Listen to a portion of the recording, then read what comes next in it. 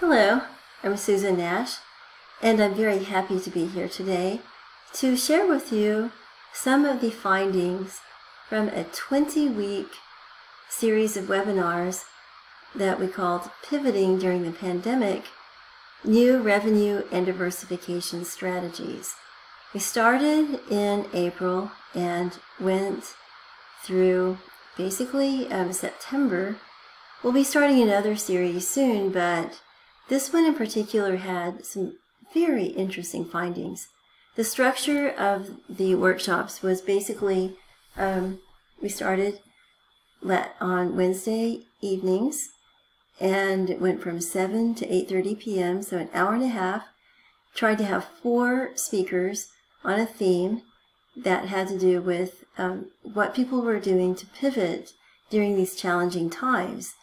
Uh, challenging times of not just COVID 19, but also supply chain issues, collapse of commodities prices, namely oil and gas prices, and other affiliated kinds of issues that introduced um, sometimes actually what seemed to be um, permanent changes in the way that we do business and some really new pathways in terms of, of business in general.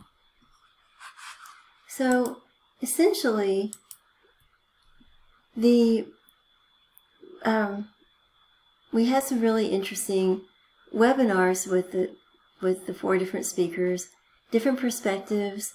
We tried to get speakers who were not just talking about their experiences with new technologies, but also people who are actually investing or looking for new technologies. So kind of bringing together multiple viewpoints. And very interesting. So if you see the link, go ahead and, and click on it. And um, actually won't be so easy in YouTube. I'll put a link in to the, the series and you can watch the different recordings there are there it was a 20 week series but there are actually only 19 recordings because we didn't record every single one. And anyway so there, there are many different topics. Today i'm going to talk to you about the findings and what that means about opportunities in the time of covid-19 so you might think hmm covid time of opportunities in the time of COVID 19. That sounds kind of Gabriel Garcia uh, Marquez esque. Love, love in the time of cholera, right? Well, there are some similarities, and it's not a coincidence. I decided on that, that title because the thing about love in the time of cholera, love is this thing that one pursues with passion, even though one gets abused by love. And and just sort of mauled by it. And I thought, okay, this is similar to what's happening now with people's interests and their passions, passions for creativity, different opportunities. COVID 19 and the world we live in, what's happening now, is um, tending to maul us, but with passion and determination, there are opportunities.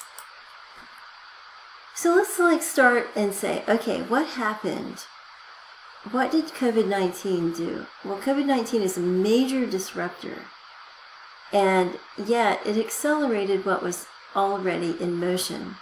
So there's demand drop in hydrocarbons, oil and gas, leading to price collapse. Um, often, much of it had to do with the fact that there is a complete drop in demand in terms of air travel, and also um, um, cruise ships, etc. But there's a demand surge for electricity and energy storage because many people are are working remotely. They're using more electricity. Another disruptor: supply chain breakdowns, then political uncertainty, social upheavals, food insecurity in some areas, uh, at least a perception of, of impending food insecurity, which led to the classic run on toilet paper and beans and rice and staples. And now people are tired of their beans and rice. Anyway, climate driven catastrophes, fire, hurricanes. Other trends that were already in motion energy transition, net zero carbon phase outs, another trend cloud based computing, remote operations, automation is already in motion, faster and more efficient computing facilitating massive data collection and the extreme deployment of sensors and data gathering, also distributed workforces. And again, another thing border controls, national identities. For all the talk about open borders and how people should not be restricted, it was amazing to see how all that went out the window and people cheerfully accepted border controls and border closings when they thought that infected people might come in. It's very interesting how that happened.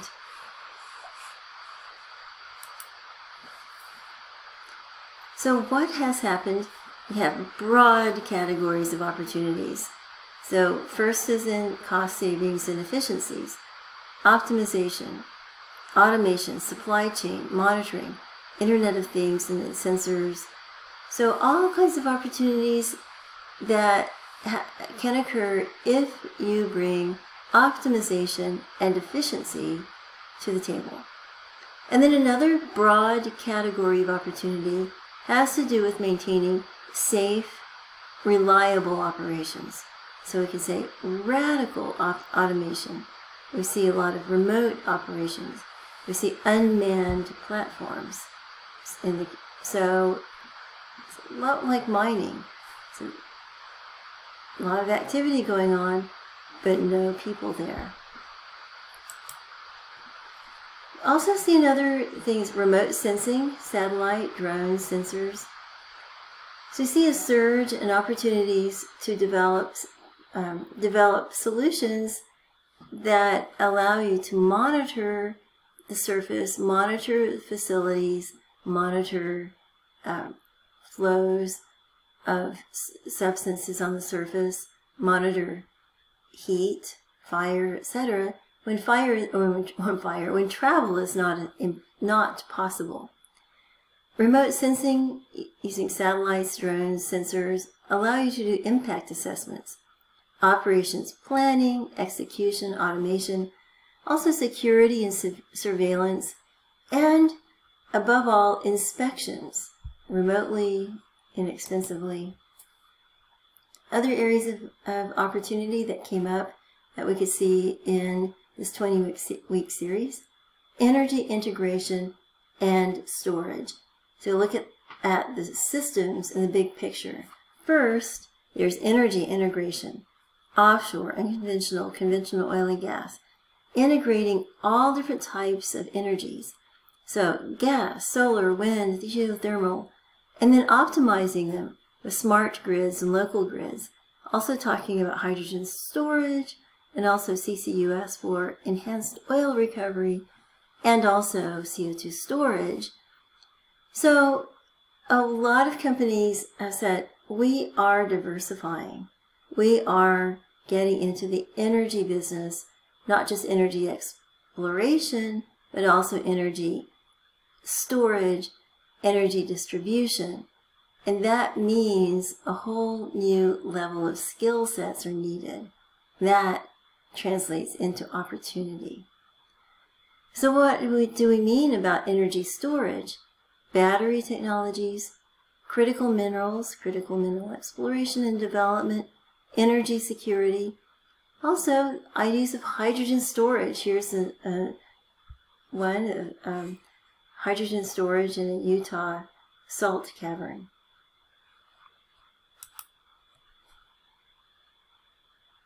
So, Compliance.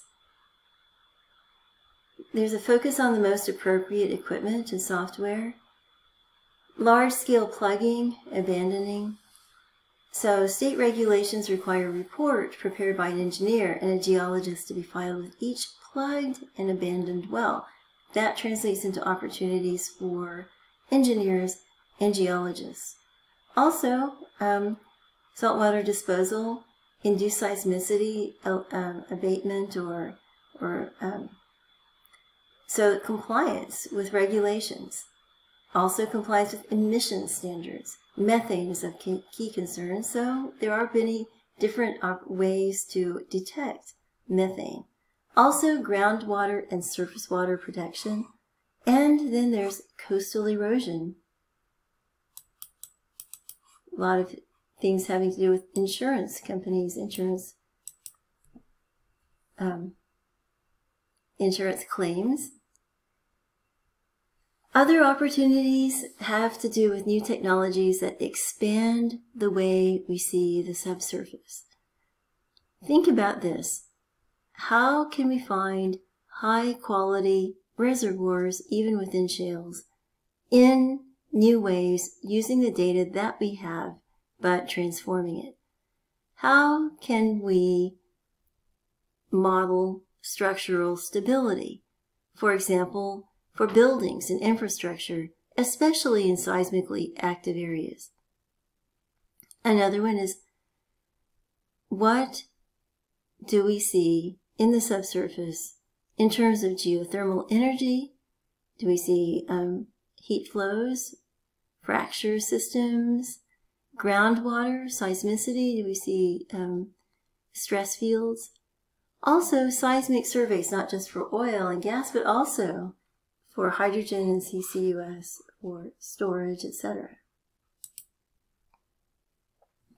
Another opportunity comes in taking a look at the massive new repositories of data and, and then also thinking about ways to work with the data, cloud computing.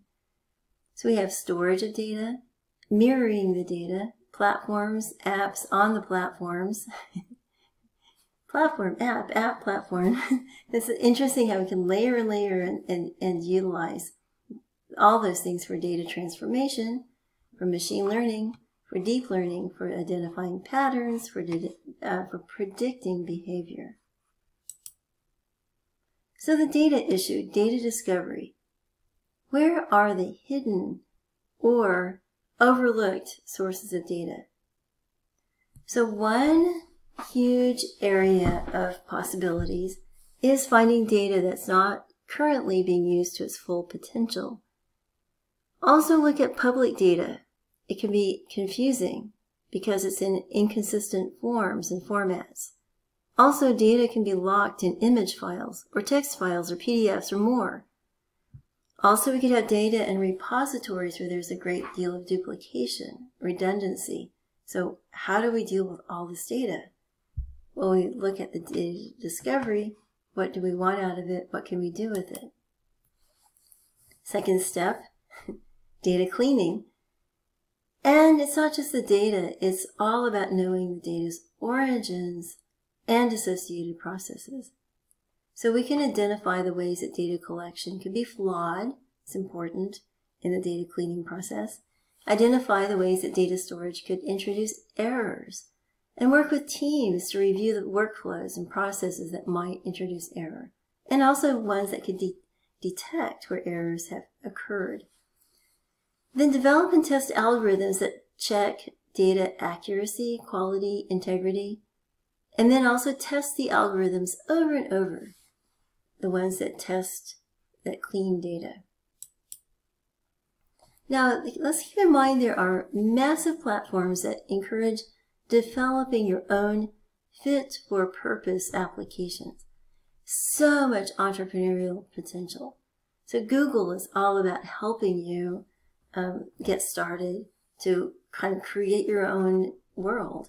IBM is the same, Microsoft Azure. Um, AWS, Amazon Web Services, Akamai, EPAM. And so, for example, Amazon Web Services has an entire division dedicated to helping you build on AWS, build your platform, your app, and then dig into the um, data. There are a few ambitious new attempts to harness the Earth's geological data. Again, entrepreneurial potential. Deep Time Digital Earth is a global unification of many different entities who will allow people to be able to have open access to not just the open access data that's out there, but also open access to applications. There's the open subsurface data universe that assures that the data is usable to buy. And then that's, this is similar and in endeavor. Energistics also introduces standards.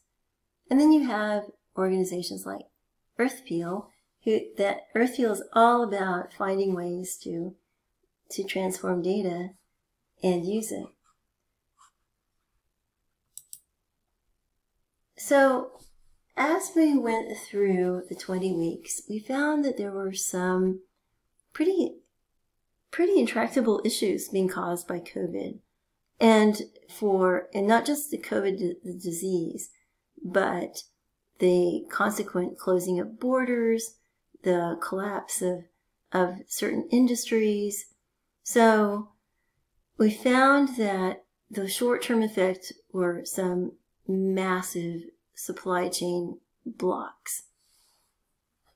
Some um, some people just could not get their parts in from China, and even if they did, it took weeks, longer, months longer and then the other issue is that even if you could get it manufactured in China, could you actually get it to the United States or to wherever you wanted it to go?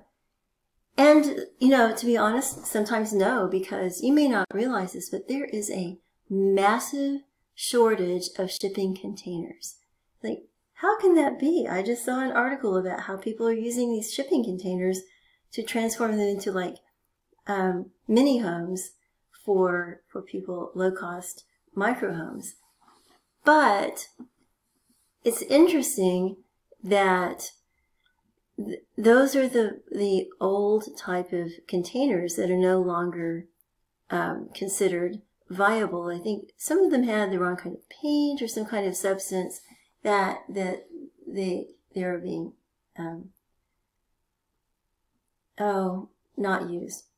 But I'm not sure that I'm completely correct in that because I can't imagine if it had a toxic paint or chemical that you would then just immediately turn it into a home for homeless.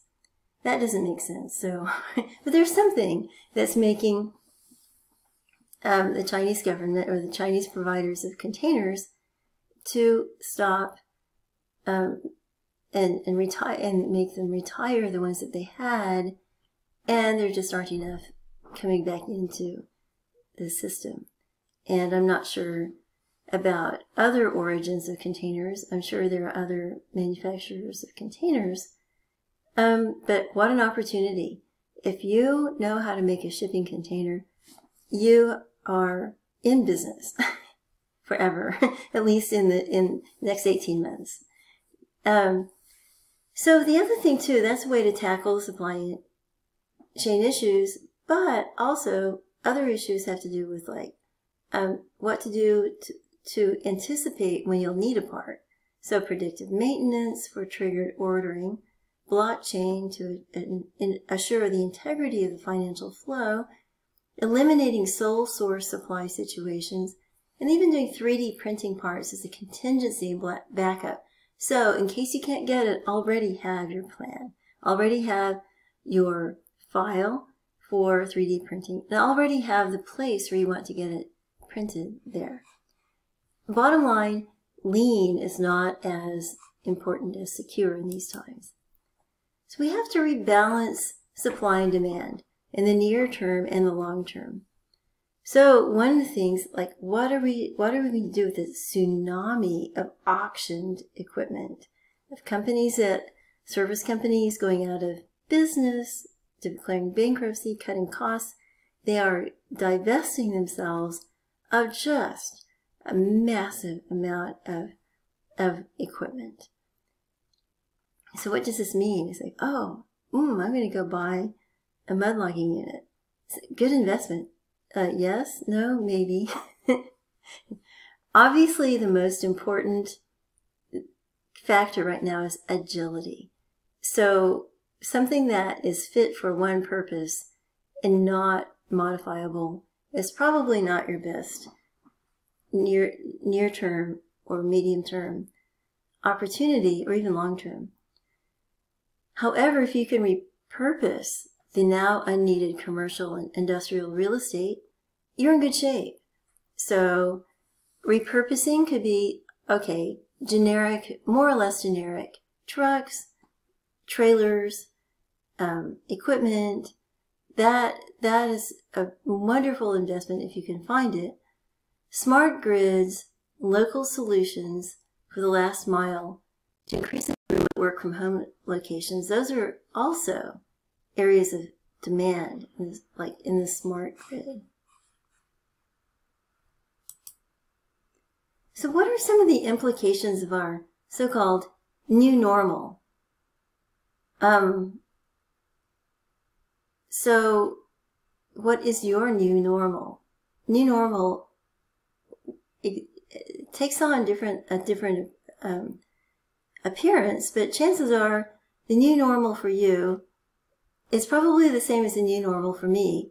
Working remotely, not traveling, um, doing a lot of things collaboratively at a distance. So what does that mean? It means need for remote training, repurposing of the skills and knowledge you need. And you need, there's a need for new ways to think of energy, storing energy data.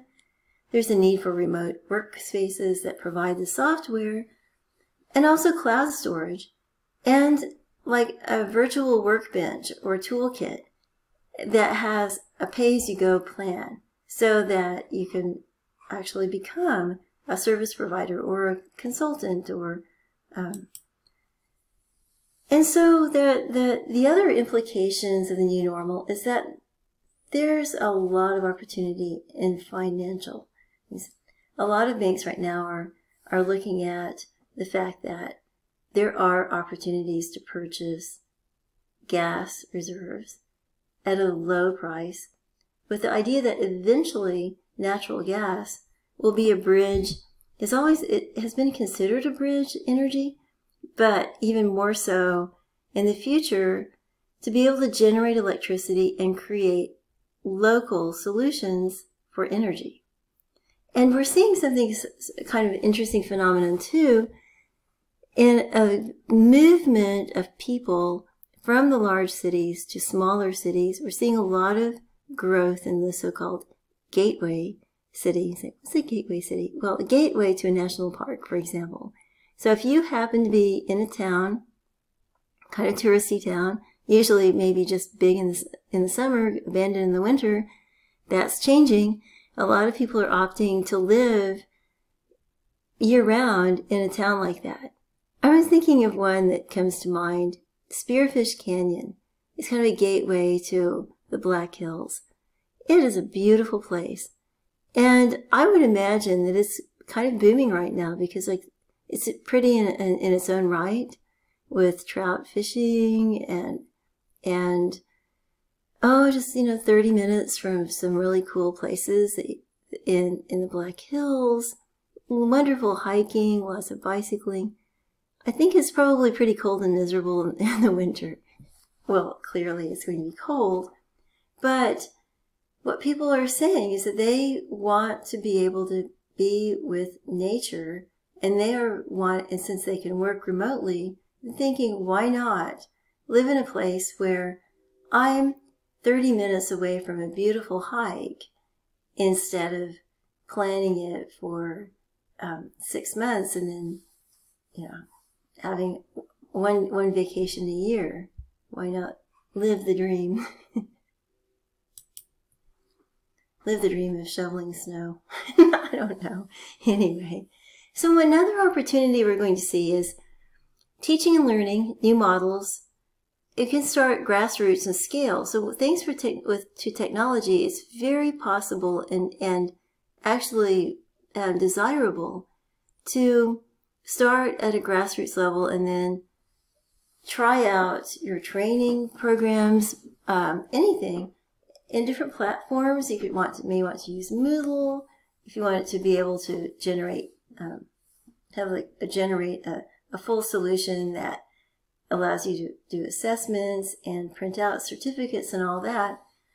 And and also you can try out things that maybe you're, you're doing. The, the system would work with children and also professionals. So you can also like pioneer doing small groups led by experts to do some kind of a hybrid web conferencing that is not just a web conference, but it also has a, a way for, for people to, to demonstrate their skills and uh, have a, a, true assessment strategy.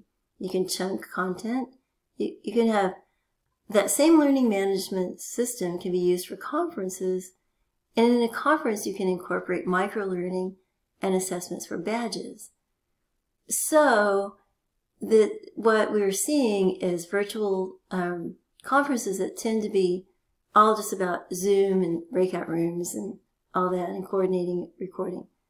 Okay, there's that, but there's also a way to use some existing capabilities and capacity in a learning management system, not just a content management system, that allows you to incorporate discussion boards, for example, and chat and, and like, and to, to archive it. So there's so many things also to be able to do self grading um, modules and, and that upon uh, completion at a certain rate showing mastery, it automatically generates a certificate or a badge. So, so cool. Also, you can do virtual apprenticeships and internships. So it's a duplicate. Analytics and careers and energy. It's tempting to think that, oh my goodness, everybody has to become a data scientist. Mm, no. It's a bit, bit like when you decided to become a geologist, you had to take chemistry if you wanted to be um, Eh, or and, and also organic chemistry, or you needed to take physics. You're not a physicist. You're not a you're not a chemist, but you needed those skills and that knowledge base. Analytics is the same. So whatever programming languages you learned in the past, it's not just about programming languages now. It's what to do with the data, where to store it, how to work with your team members.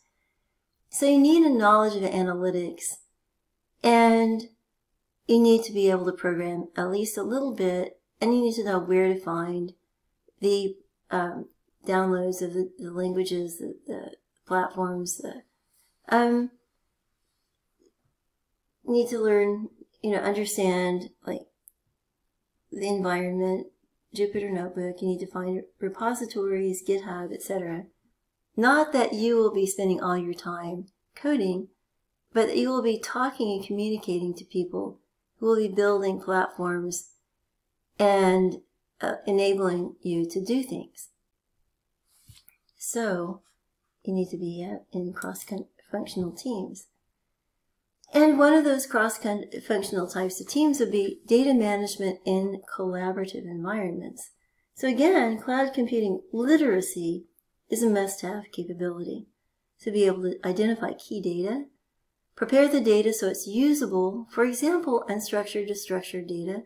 Clean the data. Um, develop the architecture for data lake.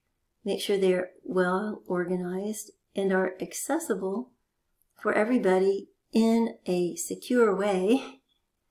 Also understand what data, data integrity means and also data quality as it relates to your projects, goals, and objectives.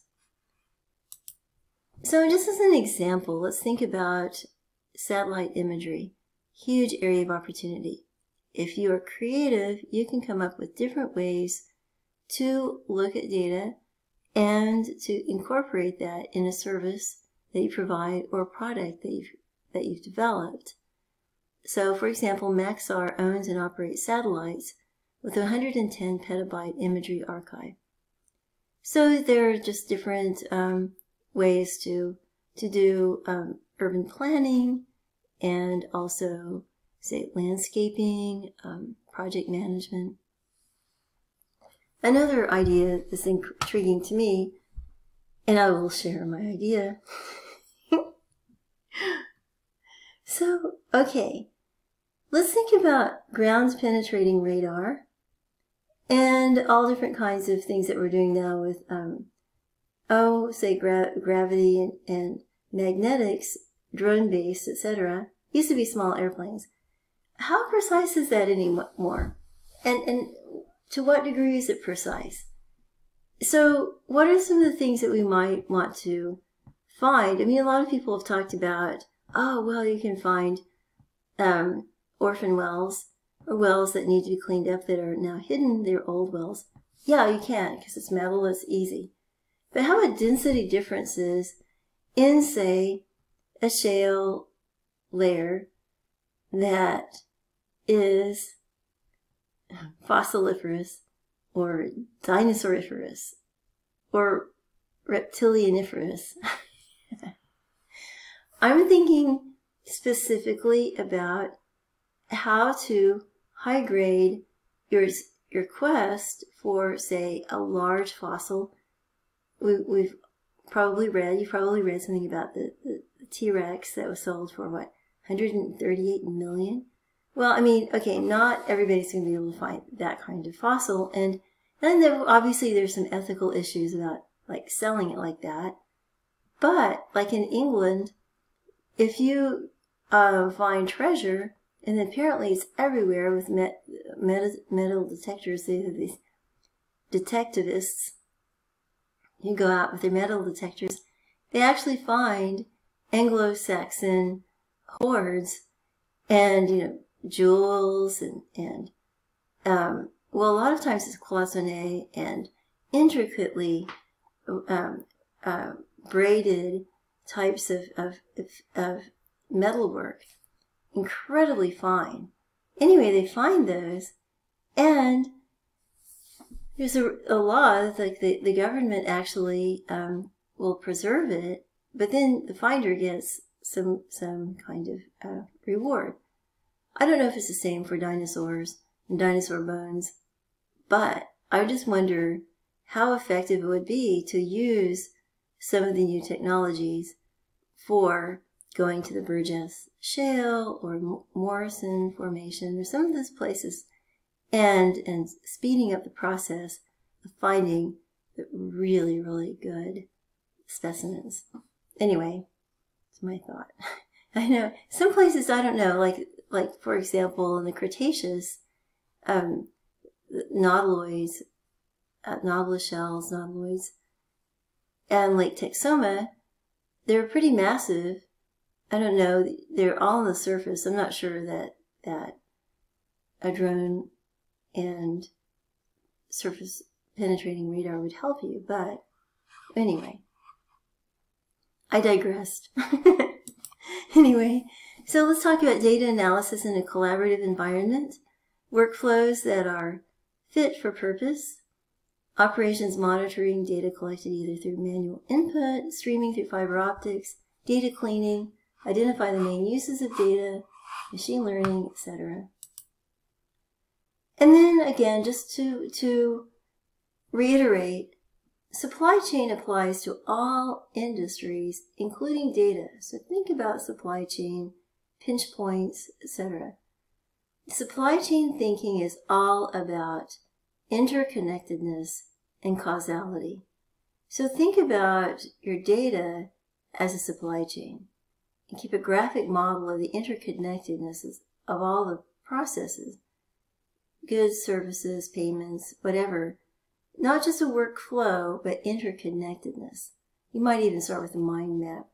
But track the flows of information, stakeholder behaviors, ordering, payments, and then diagram the processes used in the production of goods and services, and then identify pinch points and sole suppliers. Consider causal chains. Also consider risk points. So I've really enjoyed talking to you about what I think is a step into the future, and and I'm looking forward to to continuing to analyze the different findings from from the, the, the series of of individuals making presentations and talking about their pivoting experiences and their new technologies and what they see for the future. I mean, it's kind of amazing when you think about it. 20, so that meant average of four speakers, sometimes there were three. So we're talking about at least 65, 70 different speakers with different messages. And so the key takeaway for me is that the future involves putting all pieces that we can have together and using data and also insights and experience in a like proactive way. And in terms of data, think about data acquisitions from all sources, data analytics, automated actions, and then finally supply chain thinking. So I, I hope that this has been useful for you, and I look forward to your thoughts, and thank you. I'm Susan Nash, and you've been listening to a presentation on pivoting.